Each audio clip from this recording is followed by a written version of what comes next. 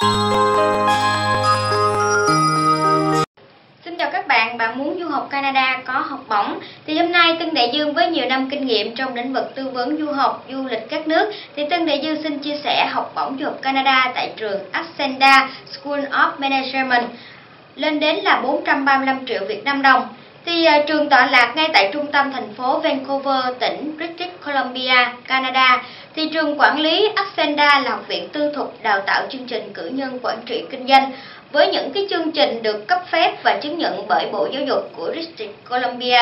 thì với 4 kỳ nhập học mỗi năm thì uh, sinh viên có thể đăng ký học xuyên suốt cả năm để rút ngắn thời gian hoàn thành chương trình học. Thì Ascenda là học viện có cái cộng đồng sinh viên đa văn hóa, lớp học sĩ số thấp, các cái giảng viên uyên bác và dày dặn kinh nghiệm về chuyên môn cũng như trong lĩnh vực quản lý mà họ tham gia giảng dạy. Thì ngoài ra sinh viên quốc tế còn có cơ hội làm việc ngoài khuôn viên của trường và sau khi tốt nghiệp. Chương trình học bổng hiện nay của trường Ascenda đưa ra đó là học bổng lên đến 25.000 hàng năm cho sinh viên. Và các cái chuyên ngành đào tạo tại trường đó là chương trình cử nhân quản trị kinh doanh hệ 4 năm với các chuyên ngành như là quản trị marketing, kế toán, quản trị kinh doanh, quản trị kinh doanh doanh nghiệp quốc tế, quản trị nhân sự và cử nhân quản trị kinh doanh. Trọng tâm là kết hợp lý thuyết với tư duy quốc tế từ các giảng viên để kết hợp các kinh nghiệm thực tế và chuyên nghiệp. Thì tất cả điều này được thực hiện thông qua một sự kết hợp độc đáo của quy mô lớp học nhỏ, tiếp cận với giáo dục hướng dẫn và sử dụng các công nghệ mới nhất. Thì sinh viên BBA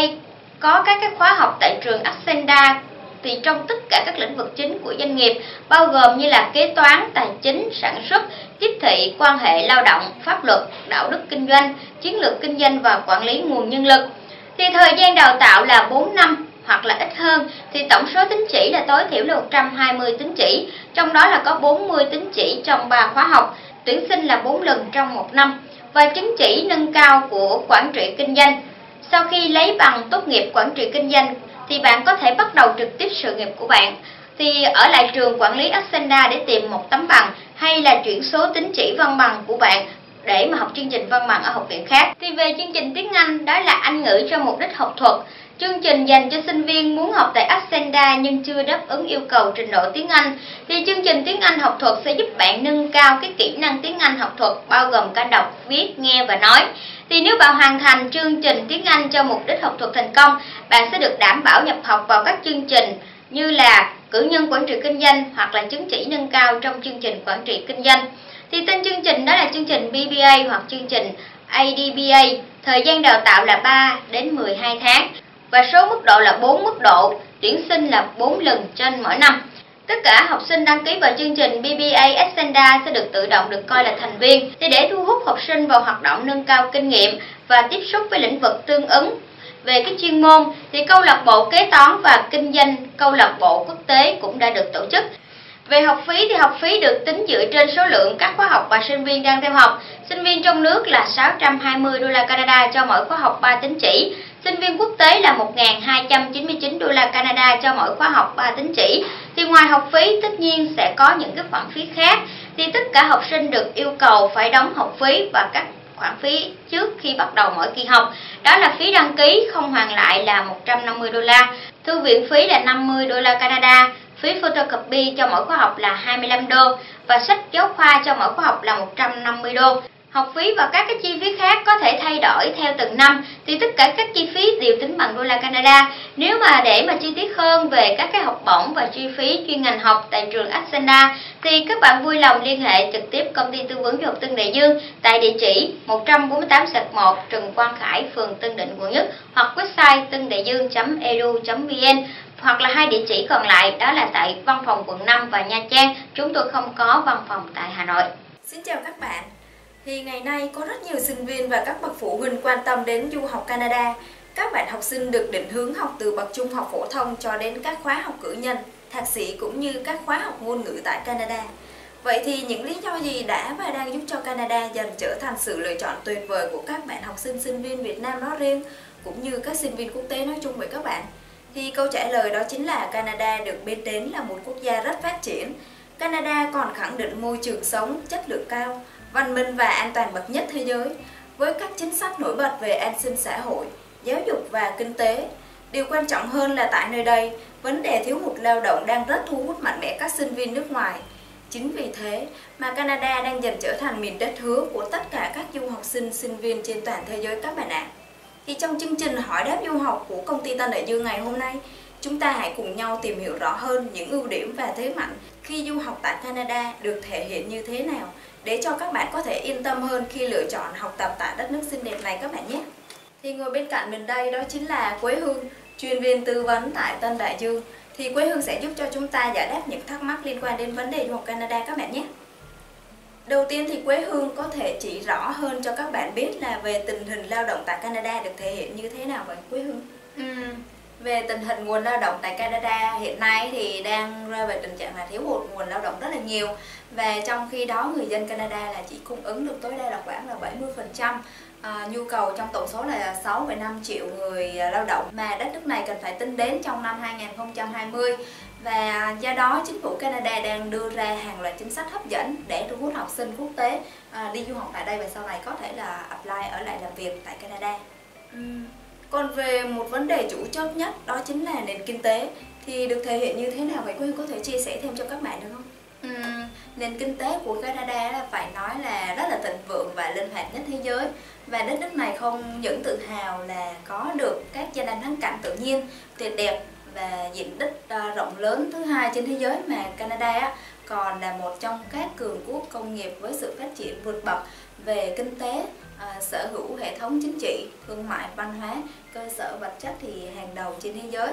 Và về kinh tế thì Canada không chỉ là một trong những cái quốc gia hàng đầu trong công nghiệp sản xuất mà còn là một cường quốc kỹ thuật tiên tiến và công nghiệp dịch vụ à, với 3 phần tư dân số làm việc trong cái lĩnh vực này với nền kinh tế tri thức cùng sự đa dạng về ngành nghề, kinh tế của Canada không dừng lớn mạnh nhờ cái việc là ứng dụng khoa học kỹ thuật hiện đại à, cũng như không còn phụ thuộc nhiều vào tài nguyên thiên nhiên như là trước đây nữa đó Mai và các bạn. Và nền kinh tế của Canada vẫn đang tiếp tục phát triển bền vững với tỷ lệ thất nghiệp à, thấp nhất trong nhóm G7 lãi suất thấp kỷ lục giữ vững từ năm 1990 tới năm 2014 là 6,1% thôi. Cái tỷ lệ lạm phát thì cũng rất ổn định và được kiểm soát ở cái mức độ là thấp nhất. Ừ, vậy thì có thể nói thì nền kinh tế Canada thì khá là vững mạnh đúng không vậy Quế Hương? Ừ. Ừ. Canada còn được xem là thiên đường để học tập, làm việc và định cư cho các du học sinh quốc tế. Vậy thì Quế Hương có thể giải thích như thế nào về nhận xét khá là tích cực này từ phía thế giới vậy?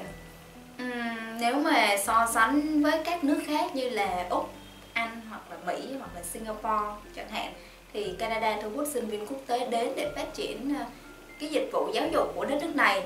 và đặc biệt đó là nhấn mạnh sự chào đón sinh viên quốc tế đến đây để mà được à, học tập, trải nghiệm và tiếp tục ở lại làm việc khi mà học sinh tốt nghiệp. Và cái điều này nhằm đóng góp cho nền kinh tế của đất nước này và được thể hiện trong các cái chính sách khuyến khích của chính phủ, bao gồm mà thứ nhất là chính phủ Canada hỗ trợ tài chính cho giáo dục, dẫn đến là học phí và chi phí sinh hoạt của du học sinh thấp hơn hẳn các nước khác. Và đây là một đất nước được biết đến là chi cho nền giáo dục lớn nhất ờ, cho, trong cái nhóm G7 chính phủ Canada dành tới 5,2% GDP để đầu tư vào nguồn nhân lực. Quốc gia này xem nền giáo dục là sự đầu tư lớn lao để mà phục vụ cho nền phát triển kinh tế. Chi phí học tập trung bình mỗi năm của du học sinh tại Canada là chỉ khoảng là 20.000 đô la Canada mà thôi, tương đương là 400 triệu Việt Nam đồng, rẻ hơn rất nhiều so với Anh là khoảng là 20.000 bảng Anh và so với Úc là 30.000 đô la Úc, tương đương là khoảng là 600 triệu Việt Nam đồng. Thứ hai, chính phủ nước này cung cấp các ngành nghề cần lao động nước ngoài tại Canada cũng như là à, các tỉnh bang và vùng lãnh thổ thậm chí thông tin rõ ràng về mô tả công việc, trình độ đào tạo cần thiết và gợi ý các cơ sở đào tạo mà du học sinh nên theo học để mà đảm bảo cơ hội việc làm sau này à, để mà nâng cái tỷ lệ à, việc làm của học sinh sinh viên lên mức cao nhất Vậy thì còn về vấn đề xin visa khi du học Canada thì điều đó có khó đối với các bạn du học sinh sinh viên quốc tế hay không vậy quý vị? Ừ. Hiện nay thì chính phủ Canada ngày càng cải tiến về quy trình cấp xét visa, đặc biệt là từ ngày 1 tháng 6 năm 2014 à, ờ, sinh viên quốc tế không cần phải chờ sau 6 tháng mới được cấp uh, work permit mà được cấp tự động ngay sau khi nhận visa sinh viên. Đây là một động thái tích cực thể hiện à, rằng là Canada đang mong muốn sinh viên quốc tế tham gia sớm hơn và có điều kiện hội nhập sâu hơn vào nền kinh tế của đất nước này trong quá trình học tập, để tạo tiền đề vững chắc về kinh nghiệm để mà chính thức tham gia vào thị trường lao động Canada trong tương lai sau này. À, chính phủ cho phép sinh viên là làm thêm 20 giờ một tuần trong thời gian học và tàn thời gian, trong thời gian nghỉ. Và bên cạnh đó, các trường còn tăng cường nhiều các chương trình thực tập cho sinh viên và đây cũng là một giải pháp nâng cao trình độ cho sinh viên quốc tế, mà còn là biện pháp à, ngắn hạn và tức thời cho thị trường lao động à, part time. Cái nhu cầu là nguồn lao động part time thì đang tăng cao tại đất nước Canada đó mà. Và hiện hiện nay chính phủ Canada cho phép sinh viên quốc tế thuộc các chương trình cao đẳng trở lên được ở lại Canada từ 1 đến 3 năm để tìm kiếm việc làm sau khi tốt nghiệp và sau khi có việc làm full time là từ 6 tháng cho đến 1 năm thì sinh viên quốc tế có thể apply ở lại định cư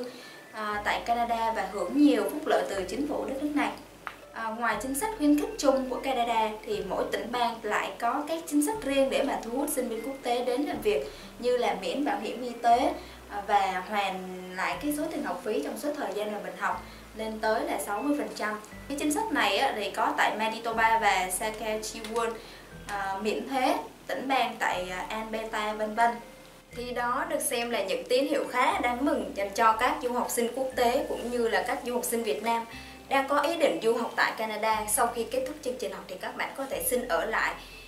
định cư hoặc là làm việc tại Canada. Và để có thể nắm rõ hơn về những thông tin chi tiết khi du học tại Canada các bạn hãy liên hệ với chúng tôi qua địa chỉ 148 1 Trần Quang Khải, phường Tân Định, quận Nhất hoặc là các bạn có thể gọi điện thoại trực tiếp tới văn phòng của Tân Đại Dương qua số điện thoại 08 3848 4879. Chúng tôi sẽ giải đáp mọi thắc mắc khi du học tại Canada cho các bạn. Xin cảm ơn Quế Hương rất là nhiều. Xin chào và hẹn gặp lại các bạn.